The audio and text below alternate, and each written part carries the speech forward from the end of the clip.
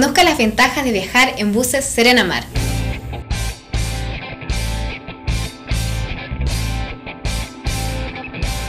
Seguridad, comodidad y confiabilidad. Modernos buses totalmente equipados para que su viaje sea más placentero y más seguro. Tarifa plana todo el año. Buses Serena Mar nos sube los precios en temporada alta. Salidas todos los días a Valle, Tongoy, Vallenar, Huasco y Santiago. Buses Serena Mar, 23 años al servicio del transporte. Nosotros no viajamos al norte, somos del norte.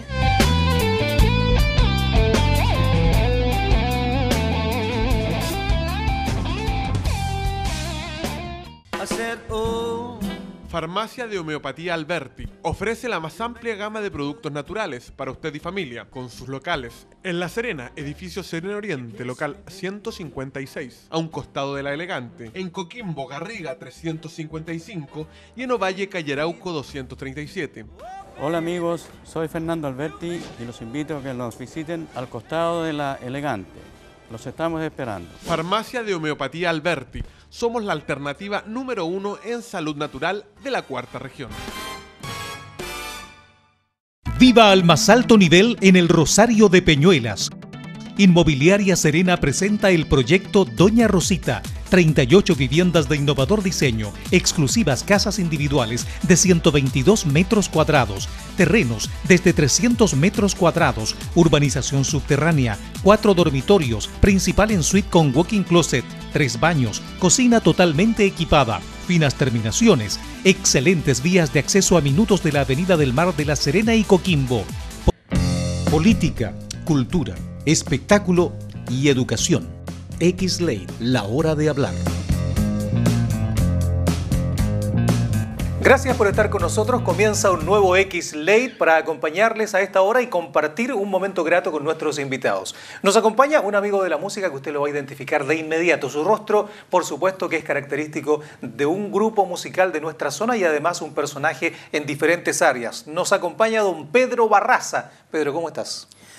Contentísimo de estar contigo. Muchas gracias por la invitación y esperemos que pasemos un rato bonito. De todas maneras, vamos a conversar de música porque es lo que nos convoca y lo que nos interesa, independiente que tú tienes más actividades además de la música. Claro que sí. Claro. Cuéntanos un poco, eh, una de las voces de los Viking 5.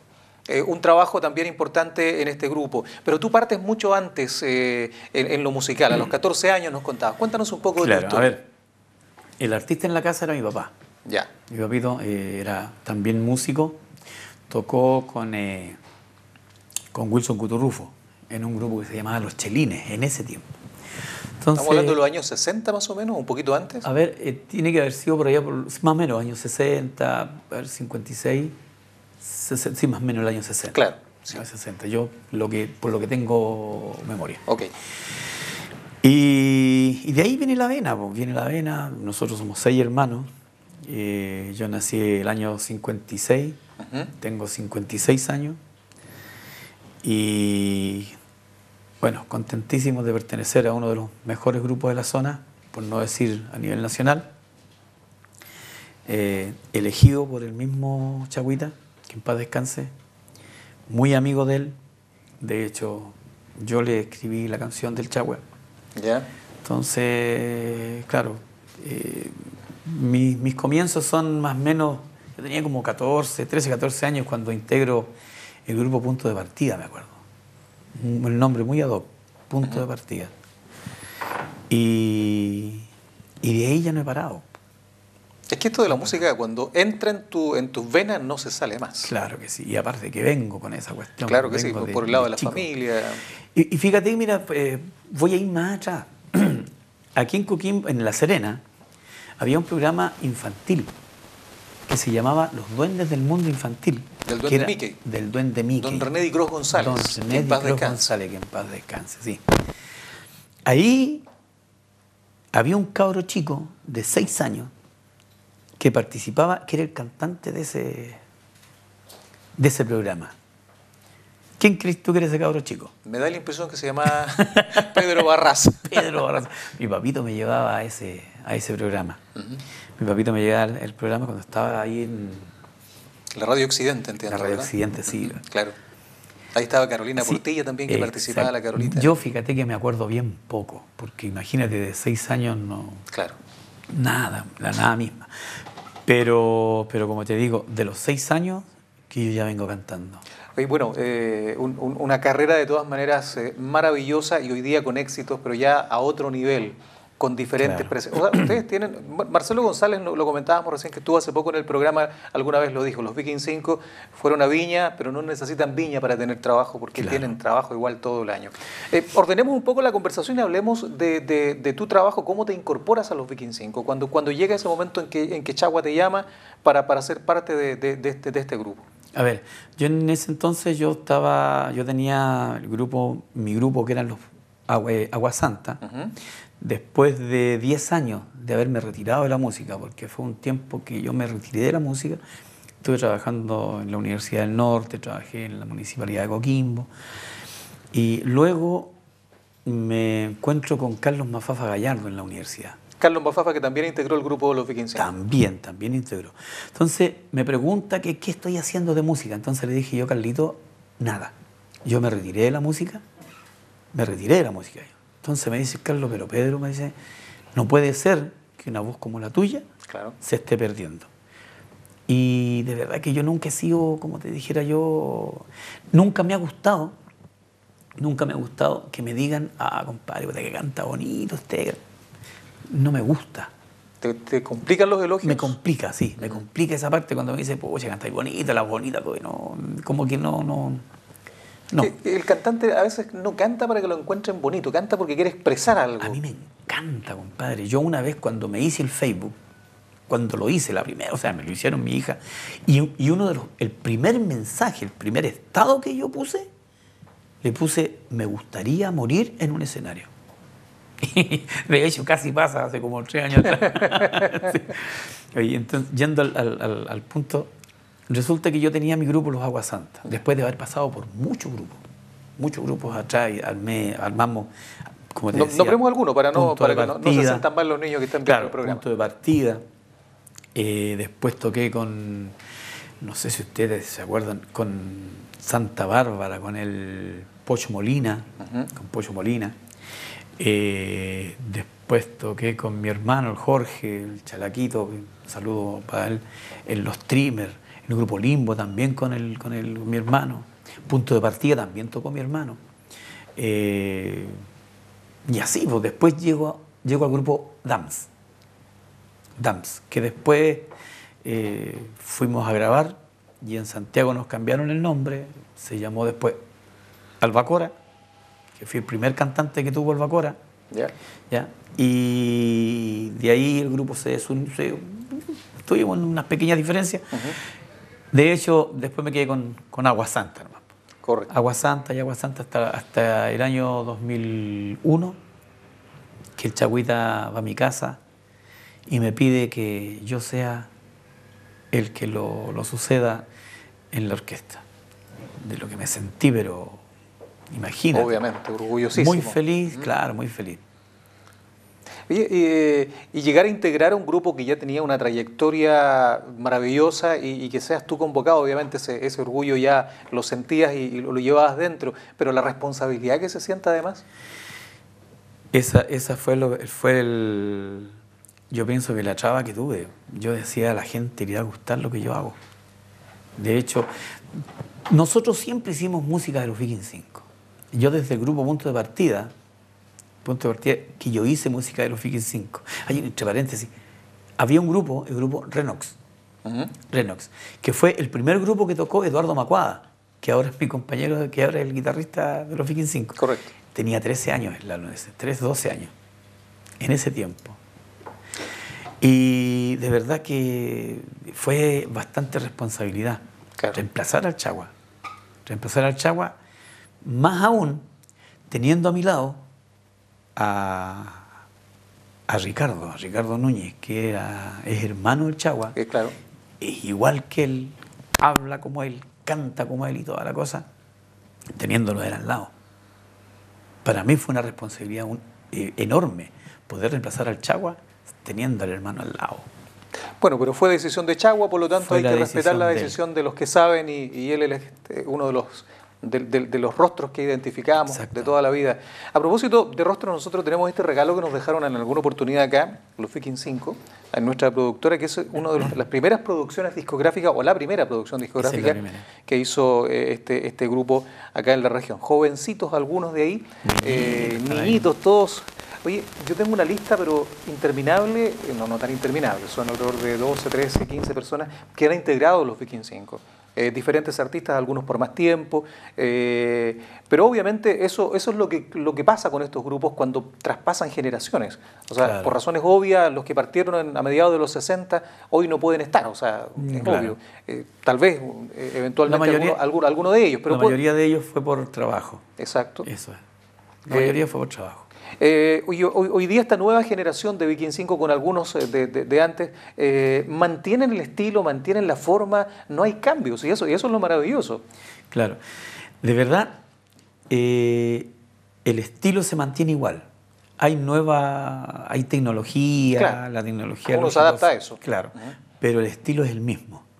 Es el mismo que hemos tenido, desde que los Viking 5 tienen del año 69, 70. Y y gracias a Dios la voz no ha cambiado. E, e, eso, es algo súper importante. Gracias a Dios ¿eh? la, voz no ha cambiado. Hay mucha gente, mucha gente que cree que yo soy la voz original. Mucha gente que piensa que yo soy la voz original de los Viking 5. Y no sé si tendré cara de muy viejo, no sé, pero...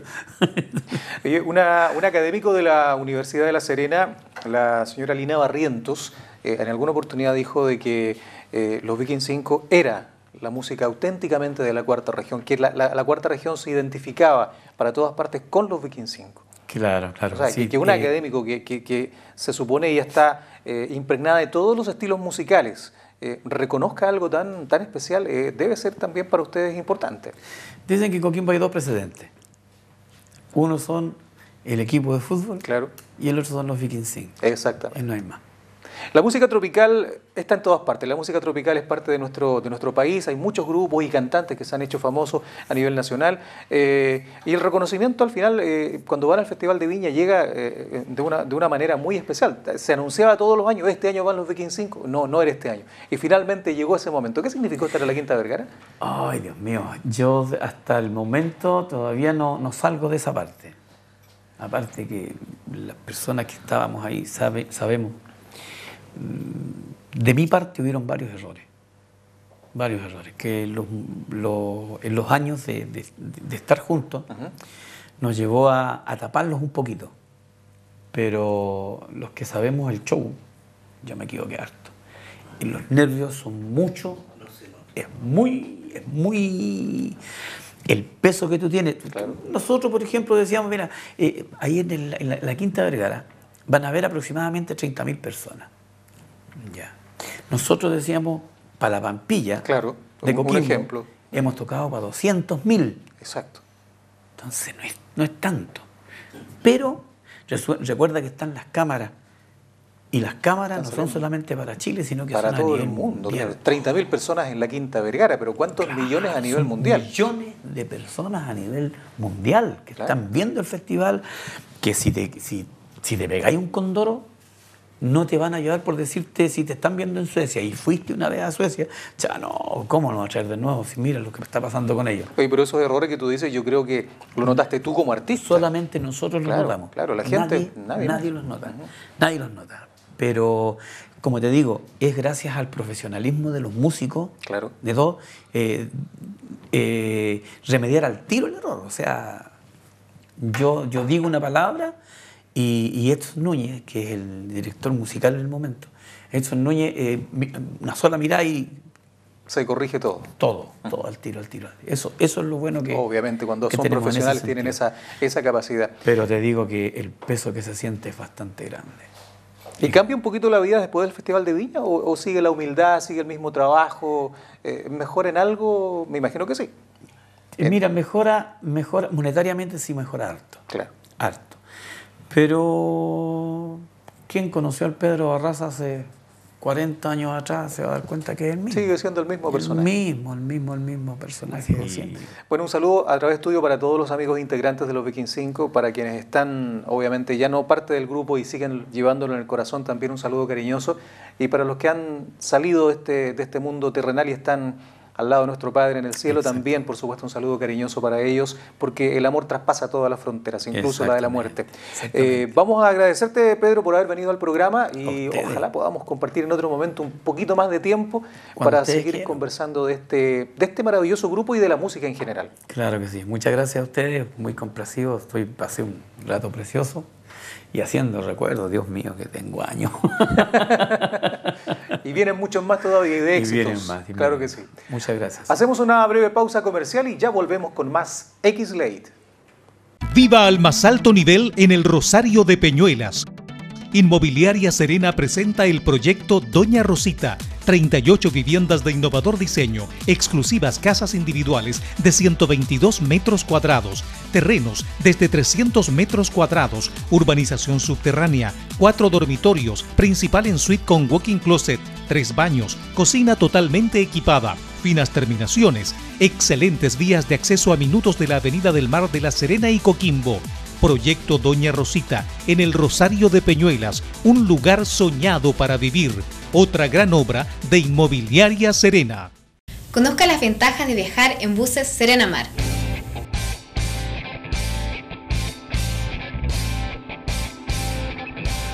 Seguridad, comodidad y confiabilidad. Modernos buses totalmente equipados para que su viaje sea más placentero y más seguro. Tarifa plana todo el año. Buses Serena Mar nos sube los precios en temporada alta Salidas todos los días a Valle, Tongoy, Vallenar, Huasco y Santiago. Buses Serena Mar, 23 años al servicio del transporte. Nosotros no viajamos al norte, somos del norte.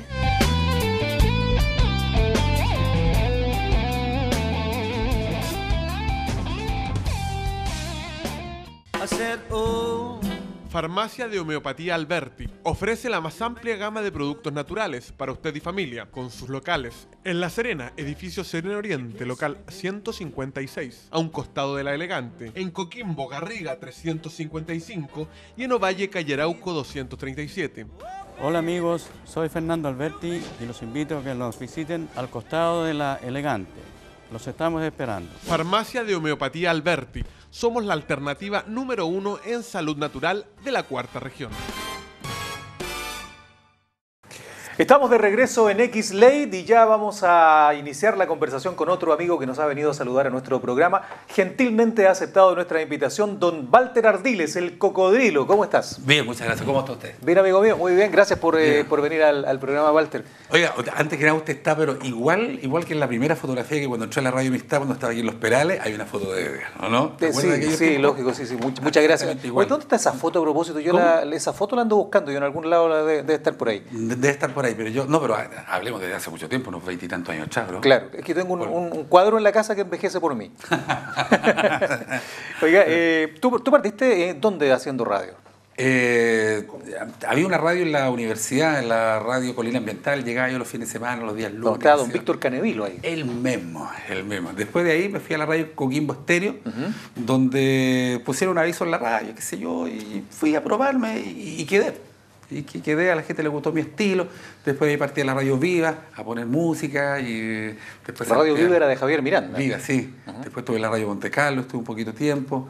En la Radio Peñuela también estuve como poniendo música.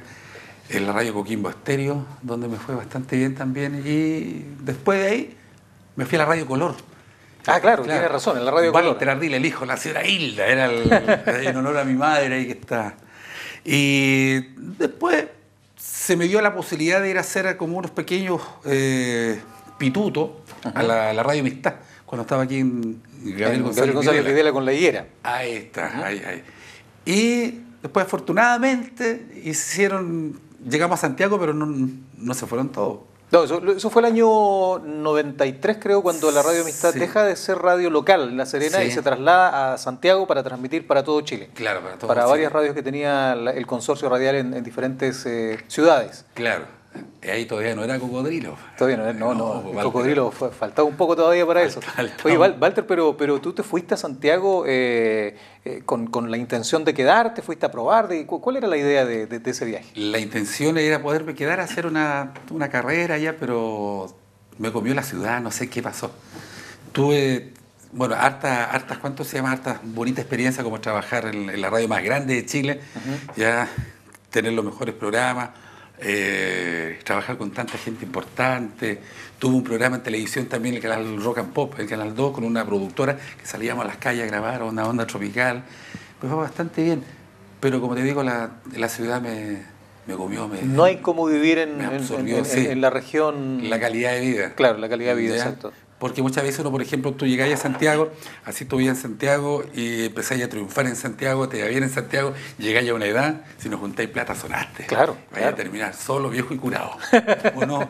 Sí, claro. Sí, pues, obvio, obvio. Obvio. Hay, que, hay, que, hay que tratar de buscar el equilibrio. Y, y muchos se- que se han ido se han venido. La Sí. semana pasada estuvo con nosotros Luis Benavente, Mi gran amigo, un, O- un o- buen abrazo para él. Buen, buen- conocido también como Belisario Velasco. El Belisario Velasco. Claro, por, por, por su estilo de, de Sí, lentes y su de forma. lentes. Pero oye, eh, tú trabajaste con, con Luis allá en Santiago, estuvieron juntos, fueron partner ahí, en, vivieron juntos, también. Vivimos juntos también un par de, bueno, un poquito tiempo. Después a la vuelta de, de Don Belisario, ¿Ya? vivimos en donde yo llegaba, donde yo arrendaba allá en, en Santiago. Muy buen amigo. Mucha gente de acá de La Serena se fue, pudiendo el consorcio haber contratado gente en Santiago, se llevó su gente de acá de La Serena, Sí. una, una buena iniciativa de Christian Wagner, que era un- Sí. uno de los precursores de esta, de esta iniciativa, y lograron, por supuesto, un éxito a nivel nacional con mucho, mucha sintonía. Claro, muchísima sintonía. eh, Fue la radio Amistad, después la radio W y hoy la claro, radio ADN. La ADN, claro. ADN. Eh, eh, ADN, A. Eh, ¿eh? Me voló la perdí el, el- No, no, el tranquilo, teléfono. tranquilo, dele nomás. Eh, pero, pero hoy día la radio, eh, este consorcio tiene más de 11 radios, ya Sí. han, han crecido mucho. Sí. Tú decidiste venirte a la, a la zona y, y aquí nace, eh, después de algún tiempo, el pantano del cocodrilo. No, el pantano cocodrilo empezó allá. Empezó allá. Claro, en Santiago. ¿Ya? Eh, ¿Por qué el nombre cocodrilo? Eh, esa, es la, esa es la pregunta clave. Yo te pregunto, ¿por qué el nombre del cocodrilo? El nombre del cocodrilo por la película del cocodrilo de Andí, porque un día dije yo estoy todo choreado ya, allá en Santiago, ¿Ya? porque me parezco al cocodrilo de Andí, por, por la sencilla razón que, por Cuando- ejemplo... cuando se fue a la ciudad el cocodrilo, en la, Claro. en la 2. Me subía, las primeras veces me subía en, en- en la estación Universidad de Chile, que está en el Paseo Humada, Claro. contaba 1, 2, 3, 4, 5, 6, 7, no sabía para dónde iba el metro, y me bajaba, no sé, por allá en Estación La Reja, ¿cachai? Siento que la radio estaba Estaba para el otro lado, que Estaba por el otro lado, equivocaste, claro. Y a veces uno se confunde, no sabe para dónde. Sí, pues obvio, que adentro del Los- metro norte Claro. y sur no existen ahí. Y cuál, cuando uno recién está llegando es complicado. Claro, claro. Muy complicado. Las experiencias son bonitas, sí, pero, pero es igual, a veces cuesta un poquito. Ayer le estaba comentando a un amigo que el nivel de vida ya era extremadamente rápido. Sí. Un día salgo de la radio, estaba viendo en Maipú, salgo de la radio, llego a la casa, ya, me baño, todo transpirado porque el calor allá, pero insoportable en, en- en verano. Claro, el calor. Pesco mi zapato, lo voy a dejar afuera, cierro la reja, todo, hago parar un colectivo para que me vaya a dejar al metro, me siento y me doy cuenta que todavía andaba con los zapatos en la mano. Así que tuve que, obviamente, parar y volver a la, a la casa, dejar los zapatos, ir, no sé. No, el ritmo de vida ya tú lo ves en el centro independiente, que tenemos mucho cariño por la gente de Santiago y yo paso mucho tiempo allá también, Sí. pero es diferente. Uno camina por el centro de La Serena o de Coquimbo, Sí. hay tiempo para saludarse, para Sí. conversar, Allá- para preguntar. Allá no, allá nadie se mira, todo el mundo va con un objetivo, lo cumple y, y el tiempo de la vida social es tal vez en otro, en otro horario, pero no en, hora- en horas laborales. Claro, Oye, el- el- hoy día en qué radio estás?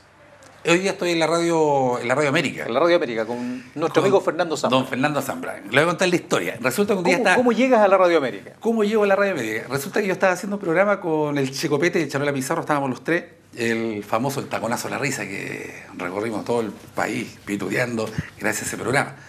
Don Cristian Banner de repente llamaba por teléfono, manda un saludo al, al vuelo 664 que va directo a La Serena, porque los pilotos están escuchando El Taconazo a la Risa. O sea, llegamos, a veces uno llegamos a todo tipo de público. Y estamos trabajando y veo yo al señor Zambra pasando. Don Fernando, venga, va. ¿Ya? Llega don Fernando con su calma, cómo está, cómo hilo, cómo le y lo atiende el señor Checopete y don Charola Pizarro que se encargaron él de, de echarle algunas tallas. Le pido un favor, me quiero ir puro a Serena nomás. ¿Usted me daría pega en su radio? Ya, pues yo le doy pega. ¿Seguro? Seguro. Ahí voy a estar. No.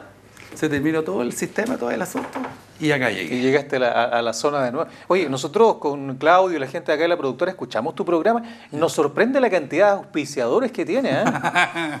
Llegan no, solitos. ¿No eh. estás dejando sin auspiciadores las demás radios? No, le puedo creer, no, es igual. Gracias a Dios, en ese aspecto me ha ido bien. Cuando recién llegué a, a Santiago, bueno, llegué con algo de plata, qué sé yo, y que me sirvió como para darme vuelta. Claro. Me compré un ternito más o menos y salí a vender un primer cliente que es Comercial Moya, del Dunate 765, Monopac 312083. Y eh, ya, pues el tiro me dijo. Y de ahí, cocodrilo, ¿qué pasa, cocodrilo? ¿Qué pasa? Y nunca más salí a la calle a, a vender un aviso. Mira qué bueno. qué bueno. Bueno, Ah, eso eh, habla pe- bien. ha- habla bien de la radio en primer Sí. lugar y habla bien de tu programa y de tu calidad profesional. Sí, sí. Y lo contento también que la radio lleva como 22 años en la Radio América y en una comida eh, para el Día del Trabajador Radial se entregaron varios diplomas y se entregó un, un diploma al Pantano del Cocodrilo por ser el programa el, el más escuchado y el más financiado. Fui el único que recibió un diploma y la alegría de todos mis compañeros estaban, pero estaban contentísimos. Oye, bueno, hoy día la, la gente tiene mucha más posibilidad que años atrás de poder conocer a los locutores de los programas. Uno puede ir a la radio, de hecho los ven eventos. Antiguamente era muy difícil que la gente, la gente solamente los escuchaba, ¿no? Sí. ni siquiera se imaginaba los rostros. Sí. Pero para las amigas que no conocían a Cocodrilo, que solamente lo, lo escuchan, él es. ¿Ah? Él es nuestro buen amigo Walter Ardiles, el cocodrilo de Radio América, antes de, de otra cadena radial y de muchos otros programas importantísimos y de mucho éxito. Muchas gracias. De esta forma llegamos al final de nuestro X-Late del día de hoy. Junto a Walter Ardiles agradecemos su sintonía y le invitamos cordialmente para que la próxima semana estemos con más invitados.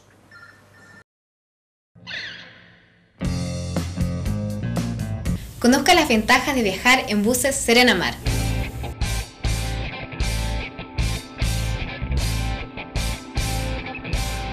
Seguridad, comodidad y confiabilidad. Modernos buses totalmente equipados para que su viaje sea más placentero y más seguro. Tarifa plana todo el año. Buses Serena Mar nos sube los precios en temporada alta. Salidas todos los días a Valle, Tongoy, Vallenar, Huasco y Santiago. Buses Serena Mar, 23 años al servicio del transporte. Nosotros no viajamos al norte, somos del norte.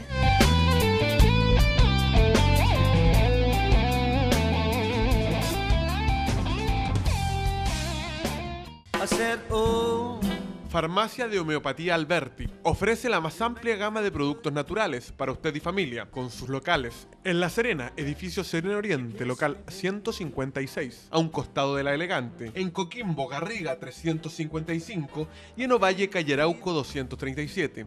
Hola amigos, soy Fernando Alberti y los invito a que nos visiten al costado de la Elegante. Los estamos esperando. Farmacia de Homeopatía Alberti. Somos la alternativa número uno en salud natural de la cuarta región. Viva al más alto nivel en el Rosario de Peñuelas. Inmobiliaria Serena presenta el proyecto Doña Rosita. 38 viviendas de innovador diseño, exclusivas casas individuales de 122 metros cuadrados, terrenos desde 300 metros cuadrados, urbanización subterránea, cuatro dormitorios, principal en suite con walking closet, tres baños, cocina totalmente equipada, finas terminaciones, excelentes vías de acceso a minutos de la Avenida del Mar de la Serena y Coquimbo. Proyecto Doña Rosita, en el Rosario de Peñuelas, un lugar soñado para vivir. Otra gran obra de Inmobiliaria Serena.